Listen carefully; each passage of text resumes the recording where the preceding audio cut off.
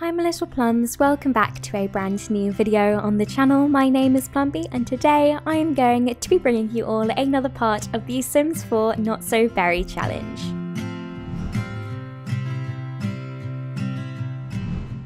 So Antheia and Redmond have actually just gotten back from their day at school and Antheia has actually gotten a date with this guy called Max who has actually shown up. So this is Max Villarreal, isn't? Hold on. Vill- Villarreal. I can never say the last name, but let's quickly check. Oh my god, he is basically Oh, I remember now. He's one of the townies from Windenburg.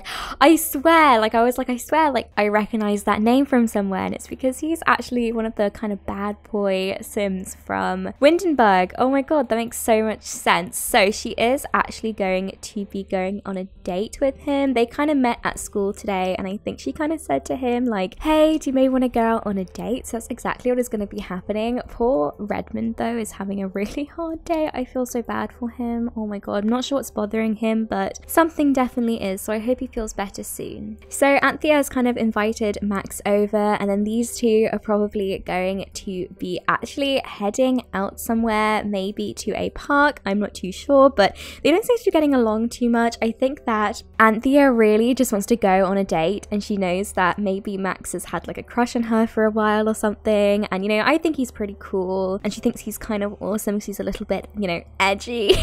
Wrong word choice, but I feel like it's right as well. So that is why she's kind of planning on kind of going out to the first date with him. But she definitely feels really confident about it because she knows that most of the boys in school do have huge crushes on her and she knows she'll get what she wants. I'm just about to get Antheia to actually reveal her crush to Max and he seems to be pretty much into it. Oh my god! She just revealed her crush to him and then he out of nowhere started yelling at her. I know it's because he is evil, so I am not surprised, but I think that now I am going to go ahead and get her to ask him out on a date. But I can't believe he just accepted like the crush thing and then ended up just yelling at her about something. But she's gonna go ahead and ask him out on a date. So she's like, okay, like whatever, but do you wanna maybe go out somewhere now? And he actually said yes to it. So it's literally that easy. As I said, Antheia kind of gets what she wants and who she wants. Everybody kind of likes her, and that is kind of why it's so easy in my head. So we are going to be heading to the modern Mexican restaurant. Okay, I think that what Antheia is going to get is she's going to go ahead and get a Cupid juice. They obviously have a lot, a lot of money, so Antheia really does not mind spending 52 simoleons on drinks alone just for a meal with a guy that she isn't that into. Okay, so they've actually eaten their food now. We're going to go ahead and actually get these two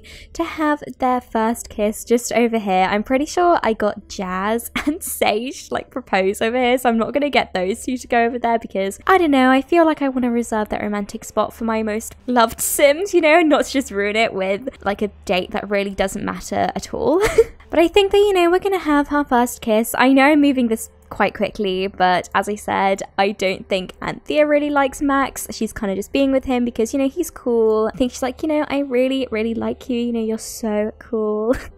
I feel like she doesn't mean it, but she still likes to, you know, lead people on like that. Oh my gosh, no, the date just ended. Oh, guys, please, can you have a first kiss now? There we go. I'm really, really sorry. My Sims are not cooperating today, but here we go. Rose Gen's first ever kiss. I usually like to reserve the first kisses for like someone more special, but because this is Rose Gen, I feel like Antheia just wants to get her first kiss over and done with. It's not going to be anything too special, and there we go. Okay okay. So she just kissed Max Villarreal. Before you know it, these guys will be in an official relationship. Oh my goodness. Oh, and there we go. He's also kind of revealing the crush as well. So we've been on one date now. Of course, I'm not going to go ahead and get these guys to get into a relationship to a relationship. Can I speak relationship tonight? Mainly because I feel like, as I said, I want to rush this relationship because it's the kind of person who Antheia is. Like, you know, she's only a teenager at the moment, so it's not going to be anything too serious. But I think that, you know, they only met this afternoon in school. They've already had their first kiss. I'm not also going to make them get into a relationship, but I would say that was quite successful and Antheia had her first kiss and her first date in one whole night. Good morning, everybody. So it is currently 7 a.m. and Antheia has just woken up and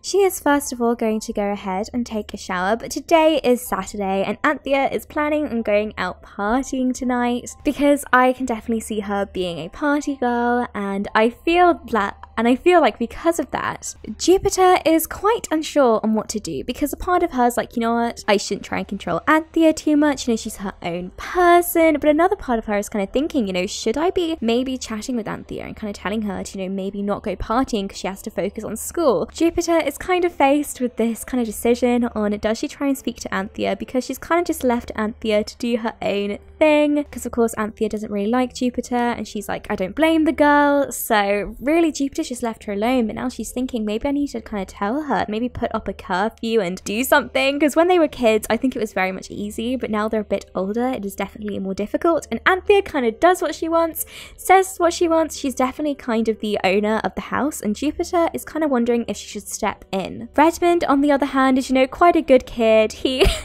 he's just a, a good kid like he goes to school school and he works hard in school and he's quite easy to, you know, take care of. So Jupiter feels like she kind of understands him. These guys are quite close, which is really cute. But Antheia, on the other hand, is a little bit more of a difficult case. And anytime Jupiter has tried to talk to her granddaughter, Antheia has just been like, you know, leave me alone. You are not Sage, so you don't get to say anything to me. So as we know, Antheia still has not kind of believed Jupiter about what happened to Sage. She's still kind of thinking that, you know, something else is going on and it is. So, you know, she she has the right to think that because something is going on. But I think that Jupiter now is actually going to head outside. It is really hot today and go, she's going to go ahead and maybe just try and talk to her because she's like thinking like, you know, in my head, it's been like probably a year now since Sage kind of left. But in the Sims world, it would have been like four years, but we're just gonna pretend it's been a year, okay? Since Sage left, and I think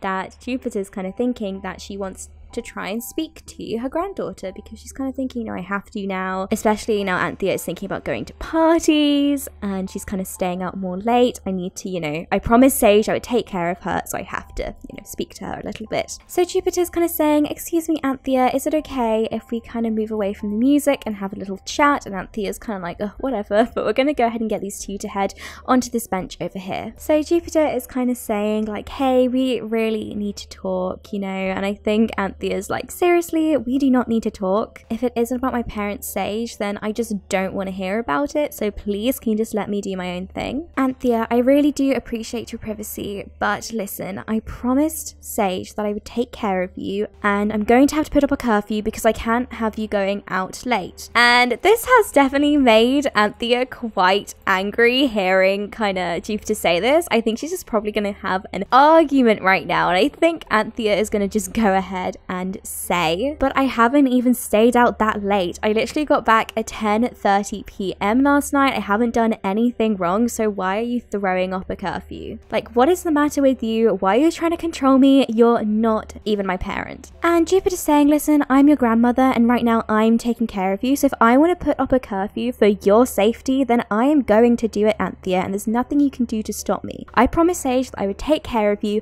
and that is exactly what I'm going to be doing. I'm putting my foot down. So as you guys can tell, that kind of just happened there. And finally, Jupiter kind of st stuck up for herself because I think that, you know, Antheia has definitely been bossing her around. But Antheia is feeling really bad right now. So she's just going to storm off. But when we get back, I will make sure to set a curfew board up we're just going to go ahead and get Antheia to head out somewhere because she needs to blow off some steam and why not the gym? I think that's a pretty good place to go. So Antheia is currently just doing some working out. I feel like she definitely will get like a gym membership because I feel like she is into, you know, staying in shape and eating healthy and everything. So she's currently just working off some steam at the gym. And Antheia has just spotted one of the kind of popular kids in school and this is Kiyoshi Ito. Please, if I am saying his name wrong, do let me know in the comment section down below. But he is actually one of the kind of popular guys in school. So we're going to get her to go ahead and do a flirty introduction. Now, this is a guy I think she is really, really into. So she is just kind of walking over here with all of her confidence and she is going to do a flirty introduction. Hey, I'm Antheia Berry. I'm not sure if you've heard of me, but I'm kind of a big deal at our school and everything. He's just going to go ahead and say like, oh, hey, yeah, I've definitely seen you around. And she's blowing him him a kiss, and he actually seems to really, really like her, which is good. She's already gotten another sim under her spell. I think since Antheia does really like Kiyoshi, she really wants to make sure that she doesn't really rush things too quickly. Of course, she's already throwing all the flirts out there. She's already actually getting his number, but she really actually is kind of into him, so she wants to make sure that, you know, she plays it smoothly and doesn't rush into things too much. And she's actually just offered her number, and oh, he didn't accept it. Maybe he's like, listen, lady, like I just don't give out my number to random girls. I'd have so many people calling me up if I did that. And she seems to also be doing a sexy pose, which he actually quite likes, which is good. Maybe she's like, okay. well, she seemed to play it off pretty cool there, though. Uh, but yeah, I'm kind of glad he didn't accept it immediately. So Antheia is going to have to work a little bit harder. And this other guy has actually shown up. I'm actually going to quickly cheat him down to a teenager. she's going to go ahead and say hi to him too. She's like such a player, but she's like, oh, hi, like nice to meet you and everything. I really do love how she's just kind of flirting with everyone that she can flirt with. And she's actually gone a little bit embarrassed. Usually she never gets embarrassed when rejected because she usually just isn't. Oh, oh my gosh. Antheia's like, oh, I'm so silly. Maybe he's like, weren't you just flirting with my friend over there? And she's like, oh no, I wasn't. oh my goodness, Antheia, you need to like calm down. It just isn't Antheia's day to day, is it? She's failed at, well, she kind of did impress Ke Kiyoshi a little bit. So I'm not going to say she failed at it. It's just she didn't do as well as she thought she would. And with that guy over there, he just full on rejected her. And he's like, you were just flirting with my friend. Why are you flirting with me now? So she's just to go ahead and use the punching bag to blow off some steam. Antheia is now actually hanging out with some of her friends. She kind of called them was like, hey, like I'm at the gym. Do you guys maybe want to, you know, hang out? I did age up all of her friends, but to be honest, I couldn't be bothered to give them a makeover. So I did throw out some that didn't really look good anymore in her club, but I actually added another sim and that was Rashida. Rashida, hopefully I'm pronouncing her name correctly, and she is actually a townie from Henford on Bagley, and I thought she kind of looked like Mean Girl material. But doesn't Jane Ward literally look so much like her mother Judith Ward? Like, oh my goodness, I love that. I feel like Jane is probably going to be Antheia's new kind of best friend since Vanessa has kind of been, you know, her main best friend, but I feel like these guys aren't as close anymore, so Vanessa isn't really her best friend anymore. So I think that maybe she's trying to become really, really close with Jane now because maybe Jane has become a little bit cooler. And as we know, Antheia only lets the most coolest of girls into her club. Like, if you're not cool, you're definitely not going to be part of the Roses. They cannot have anyone tarnishing their reputation. So maybe she's kind of saying, you know, should we maybe kick out Vanessa? Like, he's kind of boring now. You know, none of the guys in the school like her. So maybe we should just kick her out. And Judith is like, you know what, that's actually a good idea. So Simone is also saying, you know, that's a good idea. You know, I vote we kick her out as well. So she's actually going to go ahead and kind of interrupt this conversation that these two are having. And we're going to kick her out of the roses. Vanessa was one of her, you know, really old best friends, if you guys remember when they were kids. So she's like fully kicking her out now, but she just like doesn't care whatsoever. She's like, you know what? You are not cool anymore. So like get out of our club. Oh my gosh, I do feel really bad. Maybe Rashida's like, seriously? Like, what's the matter with you, Antheia? I'll happily kick you out to Rashida, okay? So keep your mouth shut. And of course, Rashida is actually not having it, but I think she's like, okay, like whatever.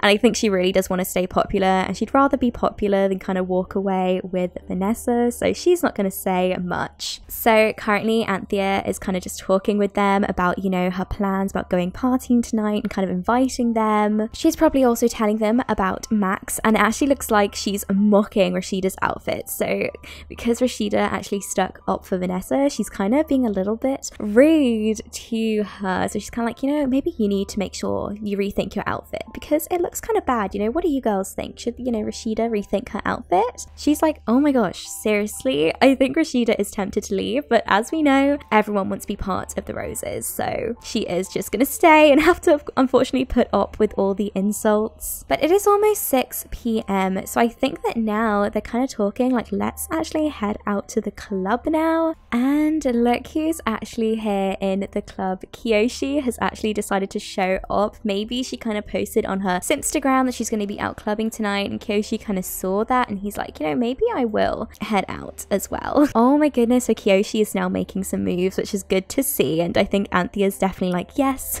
As I stated, Antheia definitely really, really does like Kiyoshi over Max, so she is definitely kind of thinking, you know, I need to play this correctly because I generally do actually like this guy a lot, and I really think he could be a relationship of mine for a very long time. And right over here, we have Max Villarreal, who's actually looking really, really sad to see that she is flirting with another guy. He's like, seriously? Guys, she's gonna have another first kiss with Kiyoshi. As I said, I didn't want to rush things, but I feel like right now, you know, the lighting's perfect. I feel like things are going so well that we're just going to go ahead and get these two to have their first kiss. So this is probably like her proper, proper first kiss because she generally does really like him. And there we go. And where is Max? Can we see? Oh, he's just over there dancing. He's kind of like looking away. He's like, seriously? Oh my God. He's like, I can't believe I fell for her. Like, I meant to be the heartbreaker, not her. Antheia is very much relieved that he also likes her as well. She's just feeling really, really happy, not only proud of herself because, you know, she kissed somebody else, but also because she's kind of like, okay, thank goodness the guy I really, really like also likes me as well. It has been a very successful night for Antheia so far. She feels really, really proud of herself and she's just having such a fun time. To be honest, I think a lot of this kind of party girl side of her definitely stems from trying to, you know, bury her sorrows for missing Sage. I know it's a bit of a weird time to bring it up, but I feel like she really just try and bury the sadness about missing Sage just by, as I said, you know, going out drinking, going out with friends, being mean to people, bringing them down. I think it's all really because she's insecure because she's very unsure about where one of her parents are. So she just spends her time buying really expensive drinks to try and drown her sorrows away. So she has kind of just met up with Max down here and she is currently kind of just cheering him up. He's feeling really, really sad. He's like, I'm sorry, I just, I saw you with that other guy and I'm sorry for thinking that you were, you know, cheating on me. Although we're not together, I just, I really did believe that. You were just being a heartbreaker and everything.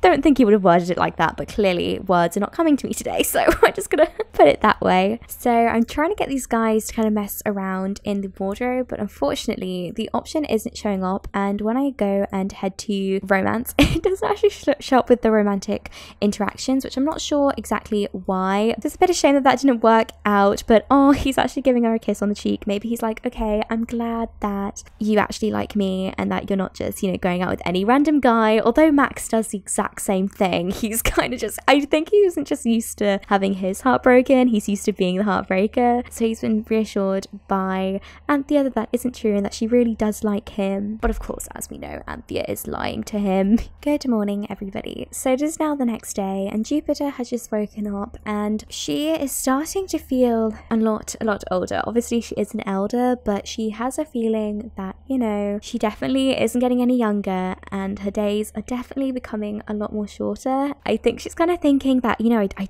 have a couple of years left, obviously, but I I know that I'm probably not going to be around for very much longer. She keeps trying to, you know, reassure herself that, listen, you know, Amethyst will contact one day and say that, you know, Sage is back with Jas, but a huge part of her knows that the chances that Jas, sorry, the chances that Sage actually did end up rescuing Jas out of jail and then actually getting out alive and, you know, well is very, very slim. And she's kind of thinking that, you know, what's going to happen to Antheia and Redmond when I'm gone? Like, of course, they'll be young adults by then, but they'll be left with no family and no answers. Maybe I should just tell them the truth now they're older. I mean, they're not children anymore. They can understand what I'm going to tell them, and they'll probably, well, Redmond will probably respond quite well to it. So Jupiter is very stuck on what to do. She just is really, really stuck, and she's trying to, you know, just take one day at a time, but the months are ticking on, and still, Amethyst has been telling her there's been no updates, and Sage has not returned with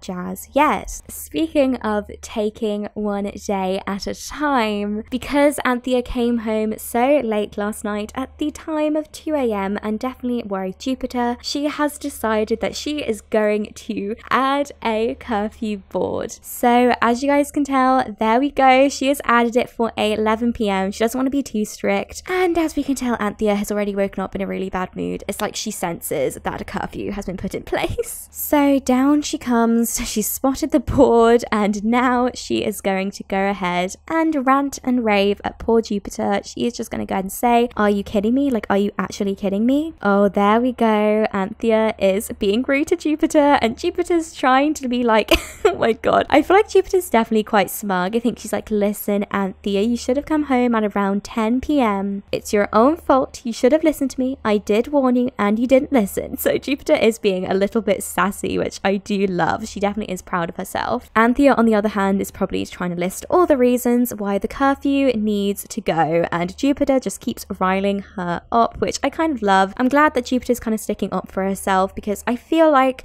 Antheia definitely does kind of push Jupiter around. Like, since Jupiter even started caring for her, she's always just treated her like dirt on her shoe. So I'm really, really happy that our girl Jupiter is kind of being more sassy to Antheia, which I do love to see. Today, Antheia is planning on actually going out on a, another date, mainly because I do want to check this off. And she also does need to have a boyfriend or a girlfriend. So my plan is that I'm going to go ahead and get her to hop into a relationship with Kiyoshi. And that will mean breaking the heart of Max, which I think she's definitely looking forward to because I think she's like well aware that Max is another one of the more like bad boy heartbreakers in the school. So she is kind of, as evil as, it is, she's actually looking forward to breaking Max's heart because sometimes she does feel quite bad, but with Max, she's actually looking forward to it. So she is going to be heading out straight away and she has just sent two messages to Max and Kiyoshi and she's telling them both to meet her at the Desert Bloom Park. Antheia has actually just gone ahead and revealed her crush to him right in front of Max. And Max does not look happy with this. Oh my goodness, he is walking off and he looks so sad. And she did this purposely. She really wanted to make sure that Max kind of saw her, kind of tell Kiyoshi that, hey, I think you're pretty cool and I like you. And Max, as we can tell, feels as if he has been fooled. I would feel bad for the guy, but because he is also a heartbreaker, I really cannot. On oh oh my gosh, look, he is so mad right now. And Kiyoshi does seem pretty happy with himself.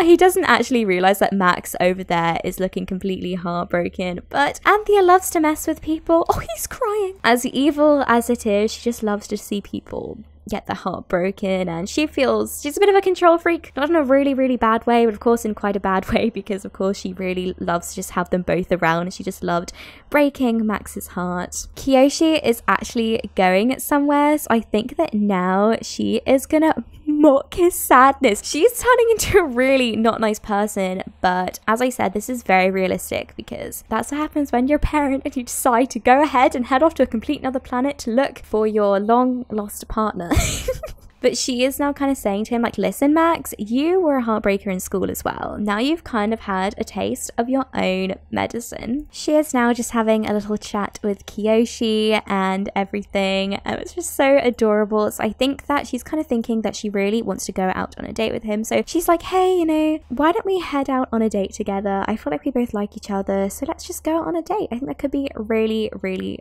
fun, Kiyoshi. So these two are probably now going to head out of the park. They've spent like, I would say, around three hours here, so we have spent long enough. And I think that these guys are probably just going to head to the Rattlesnake Juice bar. Now they're at the bar, I think that Antheia is kind of planning on kind of asking him if he wants to make it official. So she's kind of trying to think up what she is going to say to him. Antheia, I know I'm like making them move quite fast, but as I said, she definitely isn't going to end up with Kiyoshi. And I feel like she is the kind of person. And of course, since she is a player, she does move on really, really quickly and she tries to, you know, rush lots of relationships because that's just kind of the person that Antheia is. She doesn't like to, you know, be with the same person for too long. So as you guys can tell, I just added in a wardrobe and now these guys are gonna mess around a little bit, which is gonna be really, really fun. So we're just going to go ahead and speed this up and there we go. I also think I am going to be wrapping up this part here. I really, really hope you guys did enjoy it. Of course, as we know, Antheia definitely did go on tons of dates. She broke tons of hearts and we are only just getting started with the Rose Gen, but I feel like it does So yeah, let me know what you guys think. As I said, I am planning on actually probably getting her to get into a relationship with Kiyoshi because she really wants to be in a relationship, but obviously it won't last for long because she'll probably cheat on him. So I really, really hope you guys did enjoy. I'm really happy that we've kind of started to begin the Rose Gen requirements and everything and the Rose Gen objectives. And I feel like Antheia is a really fun sim to play with. On the outside, she may look like, you know, your typical party girl kind of player who is with tons of different people. But this is just because, of course, the absence of Sage, to be honest. It really did hurt her. And as I said, at the bar or at the nightclub, she's just trying to, you know, drown her sorrows with being mean and taking it out on others. So let me know what you think about Antheia and what your thoughts are on her and kind of her future and where you expect her to go. And as I always say, if you have any suggestions that you'd like me to kind of add into the Let's Play, whether they be storyline or really anything, do let me know your ideas in the comment section down below. I have a little bit of a feeling that we are also going to be getting some updates on Sage and Jas in the next part. So if you guys did enjoy, do not forget to leave a like and subscribe. We'd love to have you join the Plum family and I'll be seeing you all in the next video. A quick thank you to all of the channel members. Thank you Kristen, Cottage Crossing, The Mint Plum Bob Florida, Michelle Monroe, Snowy Blaze, Meadows Hearth, Dakey Midaria, Nanny Bay, Cat Lover 2788, McKenna, Robin Ivy Louise, Gianna Hicks, M. Howe, Redalia Griffin, Sky Perry, and Callisto Eris. I really do appreciate it.